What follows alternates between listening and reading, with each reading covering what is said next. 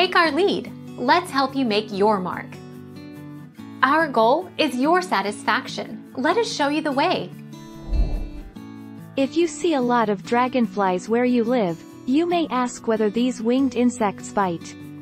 The short answer is yes.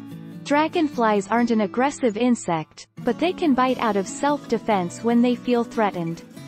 The bite isn't dangerous, and in most cases, it won't break human skin.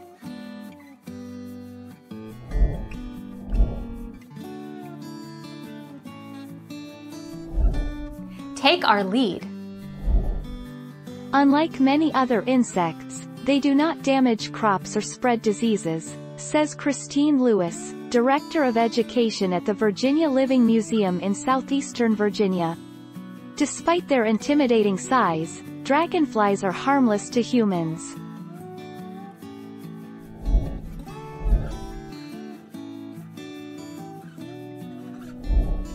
Take our lead.